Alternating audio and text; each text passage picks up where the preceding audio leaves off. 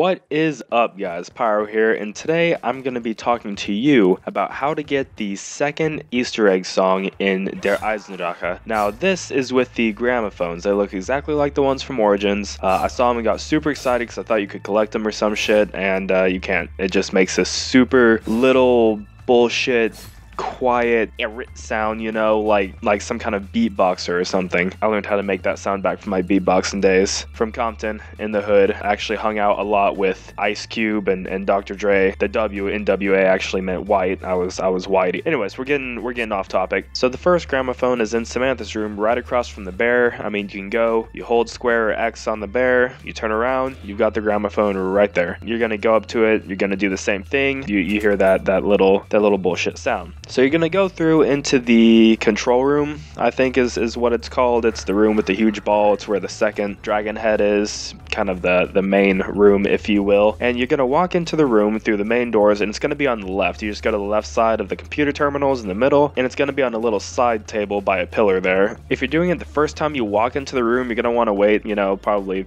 15 20 seconds for the, the cinematics and the voices to kind of die down but you're gonna go up you're gonna do the same thing hold a square or X on it and you're gonna proceed downstairs into the rift area and if you go down those stairs that first pile of shit once you get through the armor room and, and into the rift you're gonna look on it I mean it's sitting right there on a crate gramophone it's pretty cool I always love these these little Easter egg songs uh, that they put in other than the main Easter egg song they're really just kind of nifty and creative and and it's really cool it's it's nice change of pace. So you're gonna want to go ahead and get that one, and it's gonna play the song. Again, I'm gonna play it at the end of the video. Uh, I'm gonna have a few more videos out how to get the bow, which most of you probably already know, but just in case, I'm gonna go ahead and put a video out on how to get the bow. I'm gonna put a video out on how to upgrade each bow, and then the preceding Easter egg steps beyond that, along with a few Easter eggs and things that I haven't quite figured out yet. Found some codes and and some some cryptology, if you will, that I am decoding as we speak, and I'll put a video out on that shortly. So go ahead and like, comment, tell me what you think about the song, subscribe for more cool shit, and I will entertain you to the best of my ability, and if not, then uh